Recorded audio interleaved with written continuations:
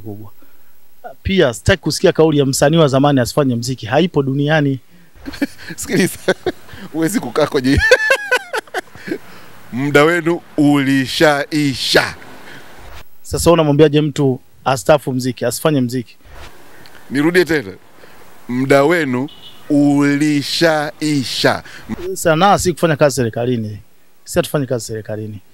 Sisi tunaimba mpaka tunazeeka, tunaimba mpaka tuna dedi. Yani wewe ni mwanamziki, ukishaingia kwenye mziki wewe ni mwanamziki mpaka kufa kwako.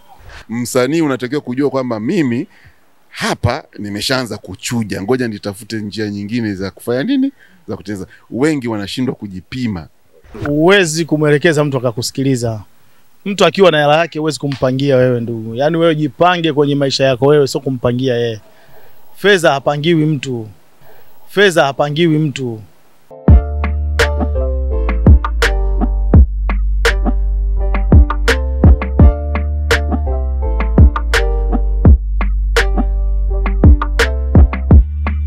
E, nadhani uliona kauli ya producer mkubwa Tanzania ambaye anaitwa Master J. Mm. Alizungumza kwamba wasanii wa zamani ama wanamziki wote wa zamani muda wao umeisha. Na wewe ukiwa ni legend wa mziki wa Bongo Flava Tanzania, unapokuwa unamuona Master J, producer mkubwa kama huyu anasema kwamba wasanii wa zamani muda wao umeisha kwenye game. Mm.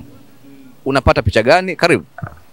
Uh, yule ni brother. big yule. Uh, yule ni brother, yule ni legend. Uh, anatakiwa aheshimike na tunaheshimu mpaka mawazo yake mpaka maneno yake pia. Mimi namheshimu sana. Uh, alichozungumza ni hisia zake, Ni hisia zake tu zikaamua kuzungumza. kwa sababu hakunaga mwanamziki wa zamani anaachishwa kufanya mziki, hayupo, hayupo. Basi kama ni hivyo, yani kama ni hivyo, hasa Koffi anafanya nini? Olomide. Anafanya nini sasa? Asha Raymond anafanya nini?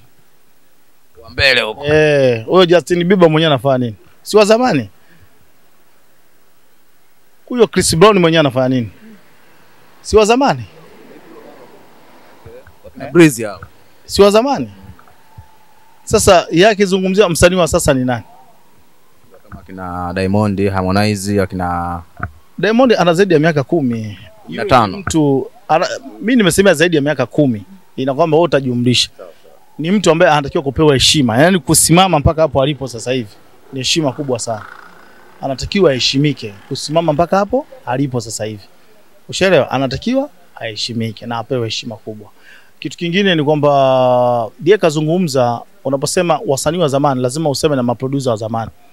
Kwa hiyo hata maproducer wa zamani pia hawaruhusiwi kuproduce kazi sasa mpya. yeye kazungumza kwa Ah, ndi, ndio picha sahihi. Ukisema wasanii wa zamani utazungumza, sababu ni producer na maproducer wa zamani pia hawatakii Kwa hiyo yeye na P Funk tuseme hataki kupiga biti, hawataki kusimamia wasanii. yeye mstaafu, yeye yeye amestaafu. Sikilize, hakuna mstaafu. ustaafu kwenye hivi vitu havipo bwana. Hakuna ustaafu kwenye mziki. Ushasikia? ustaafu huko kwenye vyeo huko vya serikalini huko. Mziki ya ustaafu. Ndio maana nimekwambia Kofi mpaka leo unamuona. Mimi nataka kuona Master J akiendelea kufanya kazi ya kuproduce. Alimwachia Makochali. Basi Makochali anaenda MJ, mimi nipo. Makochari kapiga ngoma inaitwa mpenzi wangu ni bebe, mimi nakutaka twende, mimi napasha. Huyo ni makochari kwa Master J. Mkono ya MJ. Yep. Alafu Makochari ndo kapiga mpenzi bubu. We. Yep. Kwa hiyo ukizungumzia Makochari, wewe kana Makochari atakuenda atakusimulia kuhusu H baba. Makochari. Eh, na unapomzungumzia Master J, mimi naamini mkono wa Master J. Master J anajua hata kama sipo produce mawazo yake tu tosha. Legend ni legend tu. Respect kwa Master J, anajua anachokifanya. Mimi sitaki kusikia eti watu wanasema producer huyu anatakiwa staff. Sihitaji hilo neno. Wana mchango mkubwa sana kwenye taifa hili. Producer wa zamani hao. Yes, wana mchango mkubwa na hakuna producer wa zamani. Wa zamani kuhusu nini? Hawajawahi kuproduce ngoma za Sikinde. Hao wameproduce Bongo Flava ni ya juzi. Kwa hiyo hakuna zamani. Kwa hiyo mimi nataka Master J aendelee kwa sababu pia ana mawazo makubwa. Uh, uelewa wake ni mkubwa pia kwa sababu kwenye kazi ya mziki sio wewe kujua kuimba tu, kuna kuelekezwa pia. Master J anaweza akakuelekeza kitu kikawa kikubwa. Pia sitaki kusikia kauli ya msanii wa zamani asifanye mziki, haipo duniani kwa sababu umesikia sasa, sio mpaka wasanii wanakufa wazee, bado ni mwanamziki. Sasa unamwambiaje mtu astafu mziki, asifanye mziki? Sanaa si kufanya kazi serikalini. Sisi hatufanyi kazi serikalini. Sisi tunaimba mpaka tunazeeka, tunaimba mpaka tuna dedi. Yani wewe ni mwanamuziki, ukishaingia kwenye mziki wewe ni mwanamuziki mpaka kufa kwako. Huwezi kuacha, sababu muziki hauwezi kutoka kwenye damu yako, hauwezi kutoka.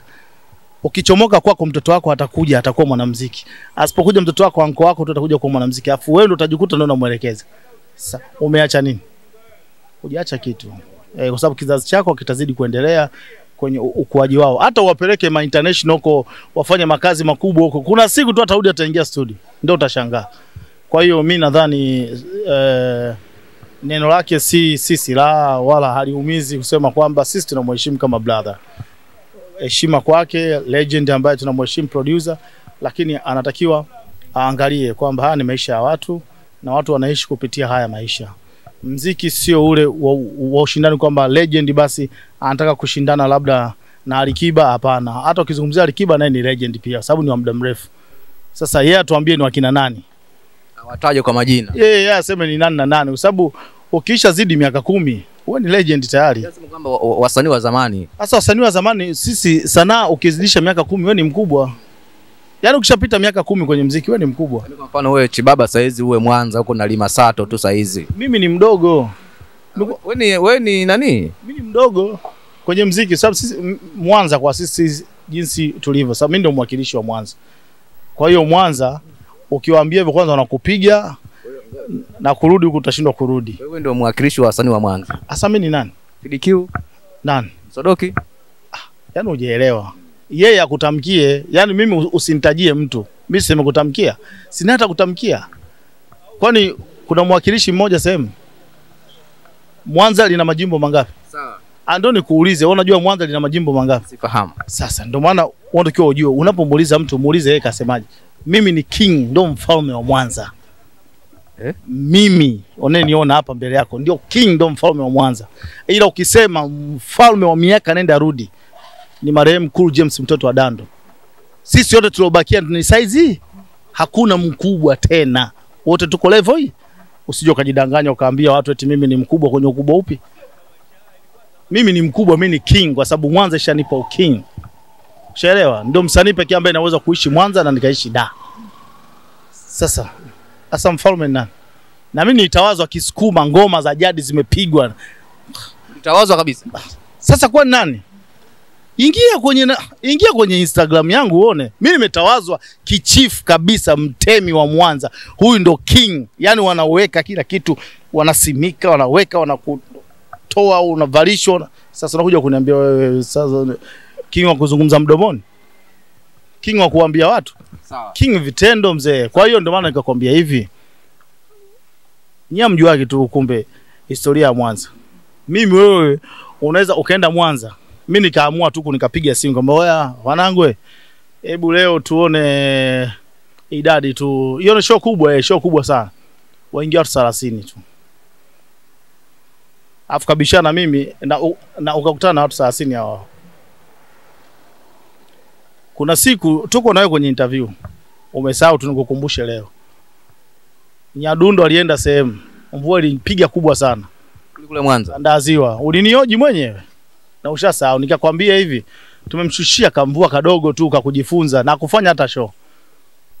Kila mtu ana sehemu yake. Wewe ukijifanya master, mimi napigia wazee kabisa moja kwa moja. Eh, Bagosha.